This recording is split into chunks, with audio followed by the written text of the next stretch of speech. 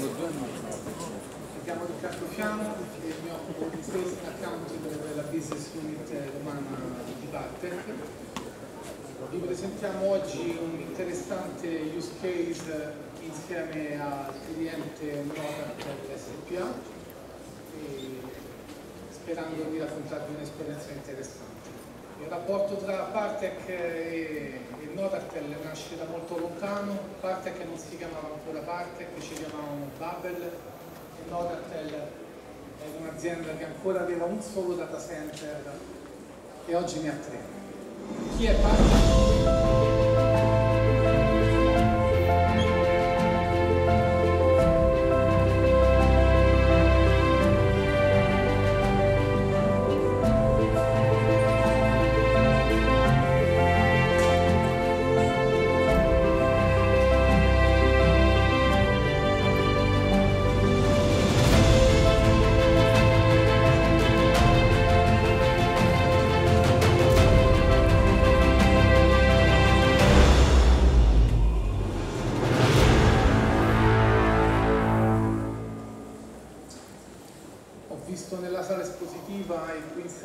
Molte persone che ci conoscono, per chi non ci conosce, questo video rappresenta un po' la nostra natura e questa immagine condensa un po' quello che facciamo. Siamo un gruppo di oltre 200 professionisti con competenze, prodotti e soluzioni in diverse aree di intervento tecnologico, come appunto la sicurezza, area nella quale esprimiamo questo tipo di, di attività, ci occupiamo di consulenza normativa, ci occupiamo di formazione specialistica, ci occupiamo appunto dell'integrazione di tecnologie per la privacy compliance come il caso di oggi e ci occupiamo di progettazione di soluzioni interamente customizzate come ad esempio la progettazione di certification authority piuttosto che il motore di firma della nostra soluzione PEC che è utilizzata da molti dei gestori in Italia.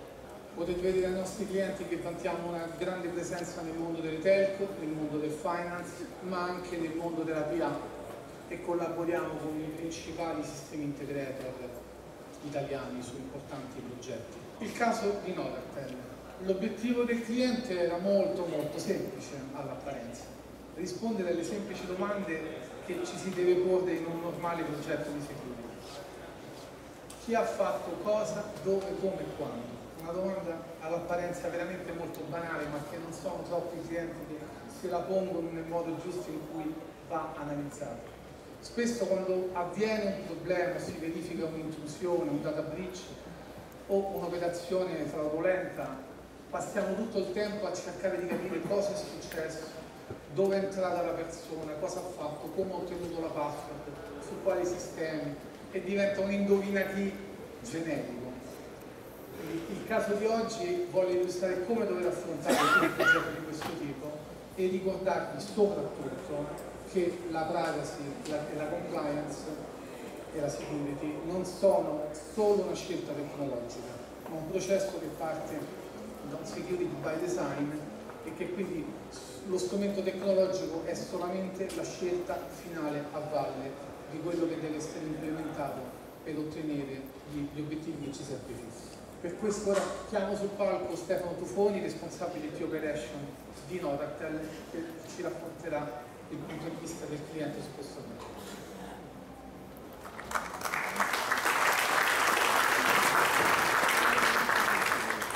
Grazie Riccardo, buongiorno a tutti, eh, io mi chiamo Stefano Tufoni, sono il responsabile dell'esercizio Notartel. Lavoro in Notartel dal 2007 e dal 2009 sono appunto diventato responsabile dell'esercizio. La mia carriera IT inizia nel lontano 1986 e in tutti questi anni ho avuto modo di ricoprire diversi ruoli, programmatore, sistemista, progettista di reti, progettista di sistemi integrati e altre ancora. Ma vorrei parlarvi di Notartel, di cosa facciamo. Notartel è una società di proprietà del Consiglio nazionale del notariato e della Casta nazionale del notariato. Nasce nel 1997 con l'obiettivo di realizzare e gestire servizi informatici e telematici per i notai italiani.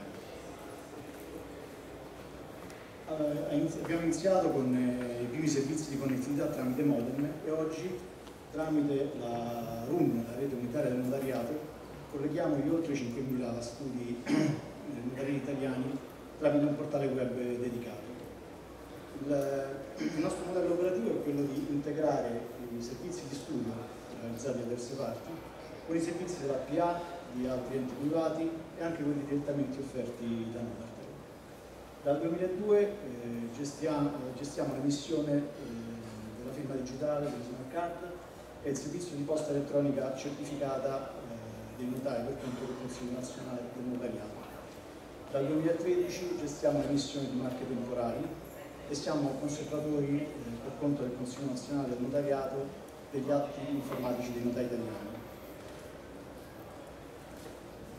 Eh, siamo accreditati presso Agit come conservatore di, di atti digitali e dal 2017 siamo anche accreditati presso il Ministero della Giustizia per eh, le vendite eh, telematiche, per le vendite giudiziarie che offriamo tramite il nostro servizio web. Oltre a questo offriamo tutta una serie di servizi anche non normati che vanno da banche dati alla posta elettronica a servizi di Dropbox Live e tengo a precisare che tutti questi servizi noi li facciamo in house, sono ospitati presso i nostri centri. In due parole, siamo eh, il provider del notaio. In quanto provider eh, ci dobbiamo adeguare a tutta una serie di best practice normative nazionali e internazionali. Abbiamo cominciato il vecchio codice della privacy, che poi è stato integrato dal regolamento del, del garante, abbiamo tutti quelli sulla tenuta dei log e per gli amministratori di sistema, e successivamente, con l'entrata in vigore eh, del regolamento europeo per la protezione dei dati, girato il GDPR, ci siamo dovuti adeguare ad ulteriori norme che oggi sono state integrate nel nuovo codice della privacy. Per poter erogare i servizi di cui ho accennato in precedenza, abbiamo conseguito diverse certificazioni. La certificazione di qualità, che sono nel 2015, la certificazione eh, sulla sicurezza delle informazioni ISO 27000 e ultimamente ci siamo anche certificati eh, al regolamento EIDAS per l'erogazione dei servizi fiduciari in ambito europeo.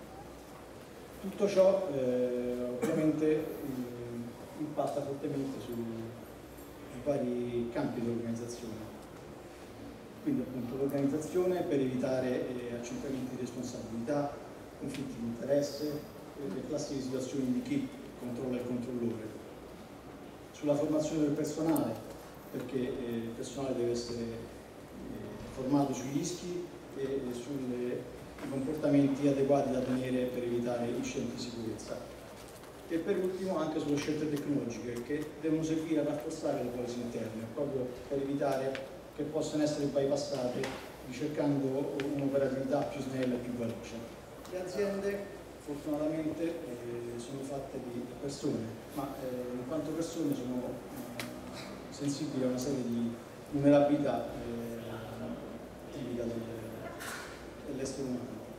Eh, non è un caso che eh, ricorre in tutti i risk assessment consigliati dalle best practice o imposti norme. Le persone commettono errori, in azienda diciamo che chi fa, eh, non sbaglia, oppure possono essere vittime inconsapevoli anche di furti di identità.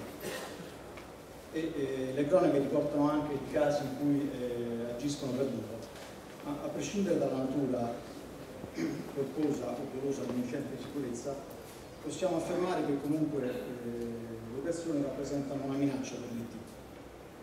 Noi in Nodat poniamo assoluta fiducia nei nostri collaboratori, ma non possiamo trascurare le statistiche che ci dicono che un'alta incidenza di incidenti di sicurezza in tutto il mondo proviene dall'interno dell'organizzazione, i cosiddetti insider threat.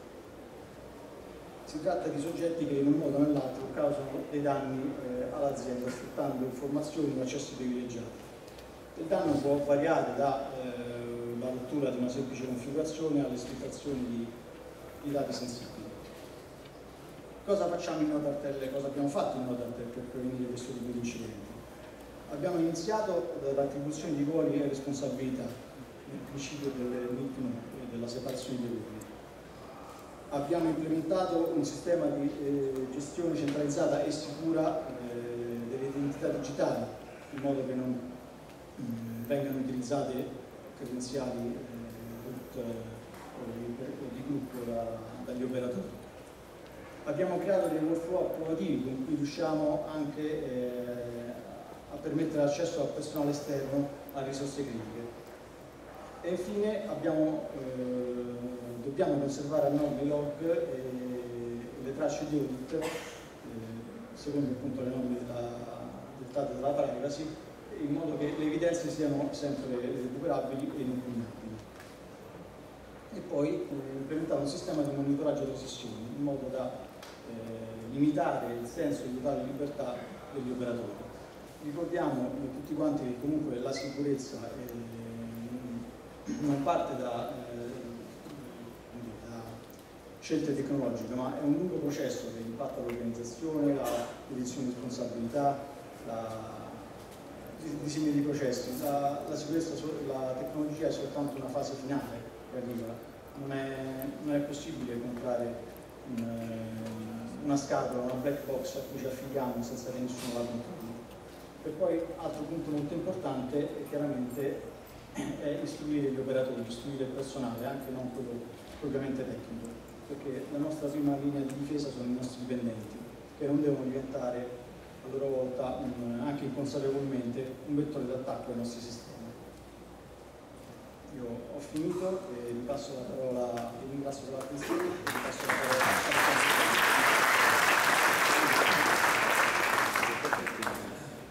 Grazie Stefano. Quello che, quello che abbiamo capito fino adesso è che le cose importanti da tenere sotto controllo sono i dati, le attività degli operatori e come le persone accedono ai sistemi e con quale modalità. Quindi i requisiti del progetto da, espressi da parte di noi, perché la prima fase del progetto che abbiamo iniziato circa quattro anni fa era tracciare tutte le attività che gli operatori compiono sui sistemi utilizzare esclusivamente credenziali personali in modo che sia sempre garantita la possibilità di risalire a chi ha fatto una azione.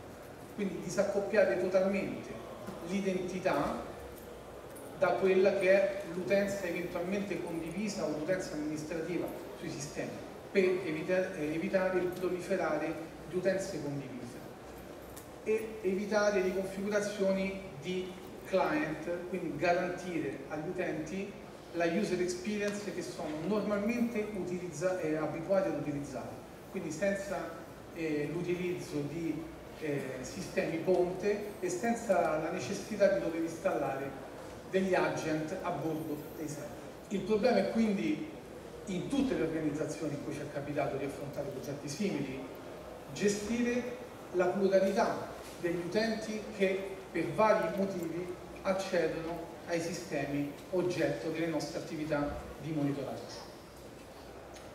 Abbiamo personale IT, abbiamo partner a cui garantiamo l'accesso in VPN sui sistemi di sviluppo, abbiamo i manager, abbiamo utenti VDI, customer care, qualunque tipo di utente che nelle azioni che giornalmente compie sui sistemi va discriminato e va analizzato in modo puntuale proprio per poter prevenire l'eventuale presenza di un, di un, attaccante che come ha detto Stefano Cufoni prima è il 30% degli incidenti e che può essere o la superficie di un attaccante esterno che è riuscito in qualche modo a rubare un'identità o eventualmente anche un'azione involontaria o accidentale o un attaccante interno maligno. Come funziona il Safeguard for Privilege Session? È fondamentalmente un man in the middle che scompone la sessione del protocollo amministrativo, vengono supportati tutti i protocolli amministrativi generalmente utilizzati per l'accesso ai sistemi e all'amministrazione, scomponendo la, la, la sessione in due tronconi, quindi simulando di essere il client nei confronti del target e simulando di essere il target nei confronti del, del, del client. In questo modo, durante la scomposizione del protocollo, l'apparato può riversare su un, trial, su un, file eh, totalmente cifrato e timestampato tutte le operazioni che sono state compiute dagli operatori e indicizzandole eh, con una ricerca indicizzata permettendo la ricerca facilissima di qualunque tipo di operazione. Quindi si può andare a ricercare chi ha scritto quel comando, e, e l'identità viene garantita e diciamo, si risale esattamente a chi ha compiuto l'operazione per ritornare alle semplici domande che ci siamo posti prima. Non richiede configurazioni come abbiamo detto e, e, e una cosa molto importante può prevenire delle azioni malevole e soprattutto permette di fare quello che è lo user mapping, ovvero di impersonificare direttamente dalle credenziali dell'utente l'utenza amministrativa. Quindi questo è utile quando ci sono dei router, ad esempio in cui ci si collega con dei sistemi legacy in generale, dove vogliamo implementare anche ad esempio la strong authentication, come abbiamo implementato sul cliente. Questa è stata la prima fase del progetto perché lo user mapping che vi ho spiegato prima è una configurazione statica che prevede la necessità di dover configurare continuamente le policy e la granularità di chi può accedere, come, dove e per fare quale tipo di operazioni, quindi ad esempio quali protocolli sono eh, abilitati. Nella seconda fase del progetto che abbiamo da poco intrapreso, la DPT diciamo, superiamo questo problema e abbiamo una gestione dinamica di questo flusso. Quindi la, la DTT accede alla console dove sono censiti tutti i sistemi target o in modo manuale o abilitando l'autodiscovery. Inserisce la richiesta per accedere al singolo sistema e anche con che tipo di protocollo. Per i sistemi particolarmente critici, come possono essere database con le carte di credito, back-end di posta, questo tipo di accesso può essere autorizzato in modo dinamico da un security manager che può eventualmente autorizzare questo workflow in sistemi che non sono critici, questa cosa può essere tranquillamente automatizzata lasciando ovviamente sempre attivo il tracciamento. A questo punto l'addetto può, come abbiamo detto prima, semplicemente accedere con il proprio client, quindi con il proprio PUTTI, con, con il browser, piuttosto che con una console in RDP, accedere direttamente al sistema target e compiere normalmente le proprie operazioni e una cosa che magari non l'ho detta prima, ma anche le sessioni grafiche hanno un motore OCR che può eh, indicizzare ogni contenuto testuale che appare sulle finestre video.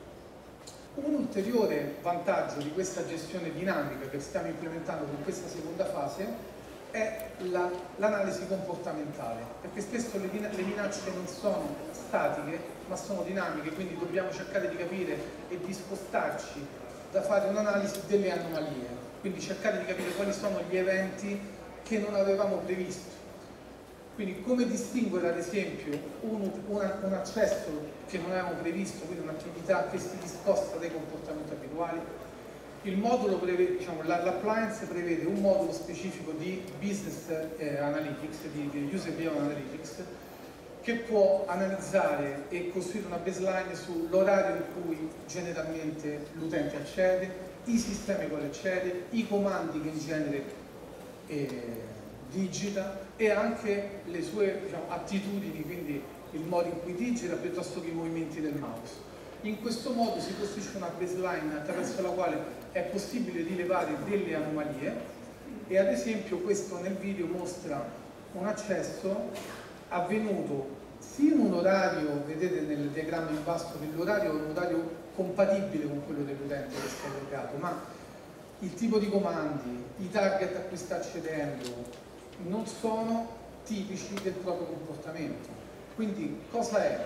È un utente che sta lavorando a casa di un amico e sta utilizzando le credenziali del collega o è un, un furto di identità? In questo caso l'anomalia viene immediatamente riscontrata e in una situazione come questa si può o notificare il manager o immediatamente droppare la sessione e poi vedere chi si lamenta o magari chiamare il collega per vedere se effettivamente sta facendo quell'operazione e chiederci il perché di questa anomalia. Questi sono tipici eventi che nella maggior parte dei sistemi statici passerebbero sotto traccia.